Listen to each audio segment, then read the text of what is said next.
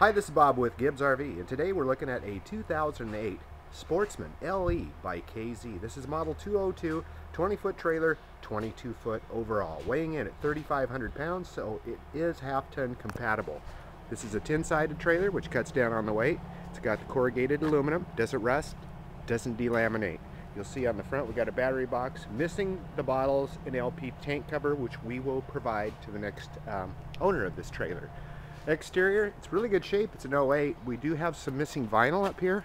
Not sure what exactly happened, but a piece of this is gone. Probably could fabricate a piece back in with some adhesive vinyl on there. Your storage compartment in the front.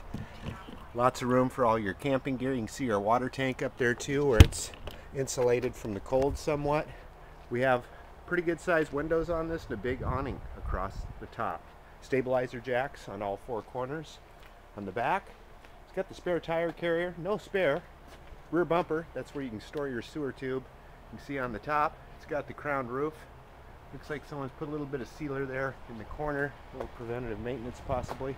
And on this side, all pretty good. We do have, again, a little bit of an issue with the vinyl up here in the front where you could either paint or looks like it's just kind of peeled back away from it there but uh, that could be remedied by someone who's fairly handy. On the inside pretty nice little floor plan especially for a, a small camping trailer. You've got the queen size bed here.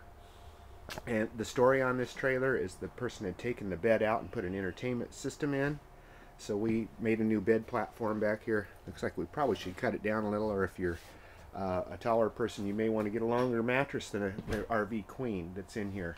Nice thing though, it does have storage compartments for wardrobe on both sides with a shelf over the top. Your galley area, it features two basin uh, composite sink with a gooseneck fountain, a three burner stove, pots and pan storage underneath, silverware drawers as well.